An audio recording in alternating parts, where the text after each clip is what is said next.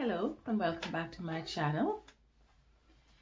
So today is one of your days when you check on your worms and so you decide to do so and, and upon opening your worm bin you find worms all over the bin. They're on the sides of the bin, they're on the lid of the bin and not just a few worms which would be okay but a lot of your worms are trying to escape and you try to figure out why are these worms trying to escape from the bin. Now I'm going to be sharing with you five reasons why worms try to escape from your bin and we're going to be looking at how we can prevent the worms from leaving. If you stay tuned towards the end of the channel, I will be giving you some additional tips as well. So don't go anywhere. If you're new to my channel, welcome. Please subscribe and give me a thumbs up if you like this video and if you would like to see more informative videos like these. If you have any suggestions that you would like to make on what you would like to see, what topic you'd like to see me cover, feel free to do so by leaving a comment in the section below. Okay, so now let's get into the five reasons why worms try to leave your worm bin. And the first one is the temperature in your bin. Worms like temperatures between 12 and 24 degrees Celsius, which is the same as 55 to 75 degrees Fahrenheit. If it is too hot or too cold, any of these extremes can be very dangerous for your worms. In fact, it can be fatal. And so if these conditions are not met, the worms will try to escape. So if here is what you do if the temperature is too cold. If it is too cold, you can always bring them indoors where it is warmer. Or if the temperature is not frigidly cold, but it is too cold for the worms, then you can always use a thick blanket to cover them. Remember, if you are feeling cold outside, then your worms are feeling cold as well. So that is how you control temperature if the worms are cold. If they are too hot, then you can increase the airflow in your bin. You can also put your worm bin in a shaded area. And the third way is you can just water the bin, wet them down, and that will help to keep them cool. Now, let's look at the second reason why worms are trying to leave your bin, and this is your moisture content. The ideal moisture content for your worms is 40 to 60% moisture content. You can always use a pH tester to monitor the content, the moisture content in your bin said you can use a moisture tester, but not all of us have a moisture tester to test our bin.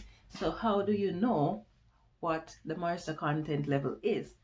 You're going to get a handful of the content of your bin. You're going to squeeze it. It should feel like feel wet, like a wrung out sponge, meaning that when you squeeze the content, you don't want to see water flowing out of it. You want to see maybe just a few drops if you see that, then you know that yes, you're within the right level of moisture. If it is too dry, then you can always just add a little more water to the bin. Now let's look at the third reason why the worms try to escape from your bin. And that is the food supply. If you don't give your worms enough food, they're going to leave the bin in search of more food.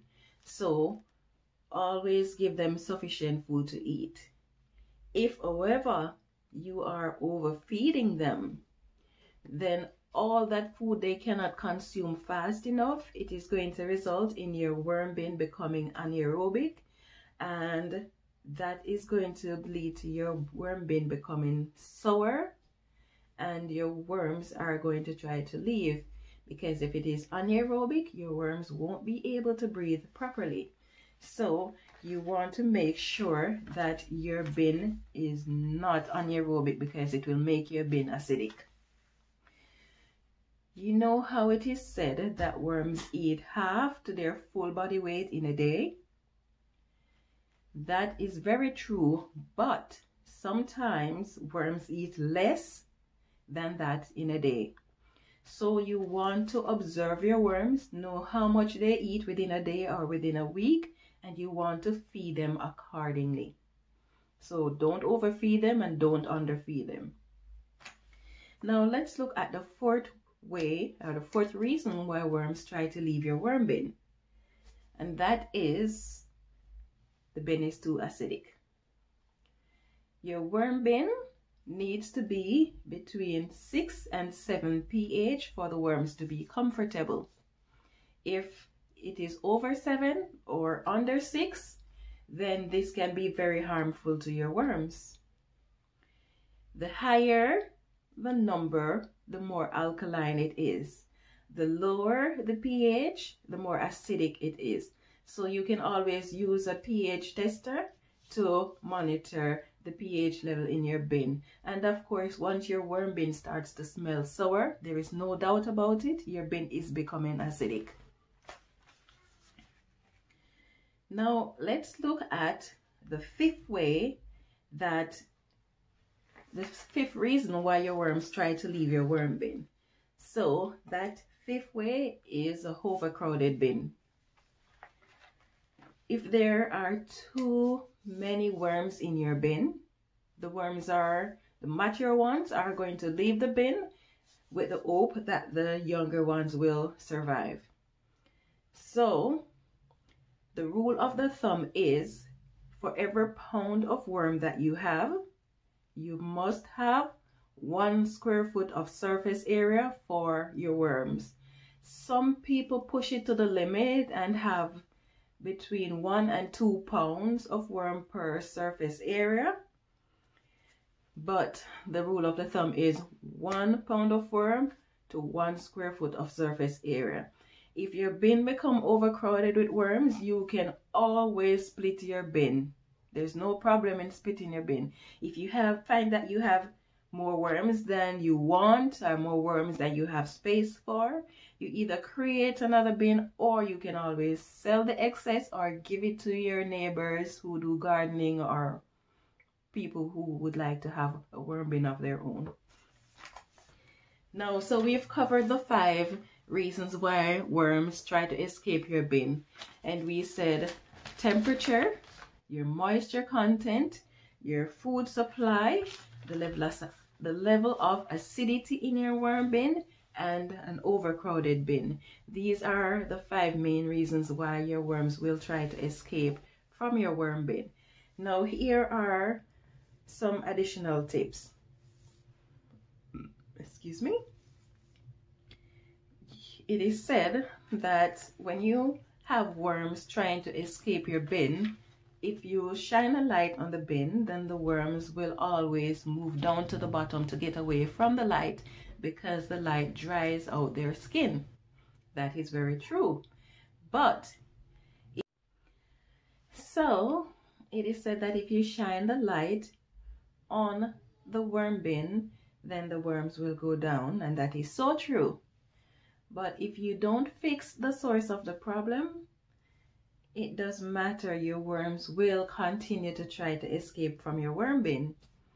So you have to fix the temperature, you have to fix the moisture content, you have to fix this food supply, you have to fix the acidity in the bin, whatever the problem is, you must get rid of the source of the problem because a band-aid over the problem will not work, okay? Now, there is a sixth reason why worms try to escape your worm bin, and that is when you are taking worm from an environment that they are used to and you're putting them in a new environment, it can take up to three weeks for those worms to get accustomed to their new environment. Now, during that period of time, you will find that your worms may try to escape from the bin. In this instance, if you do use the light, the worms will go down and they will eventually settle in. the previous discussions, we mentioned that you can get a pH tester to test the level of acidity in your worm bin. I mentioned that you can get a temperature tester and you can get a moisture te tester. These you can get individually, but you can also get one device that has three features. They call it three in one. So this one device will test your temperature, it will test the pH in your soil or your worm bin, and it will test your moisture content. I was able to get one of these three-in-ones for a little under $8 at a local hardware store. And that is before taxes. So depending on where you are, you can source them at a really reasonable price. So I'd recommend that you get one of these and you can use it to monitor what's going on in your worm bin. Okay that's it for now. Thank you for watching. If you enjoyed my video please don't forget to like subscribe and turn on your notification button. I hope you have yourself a wonderful day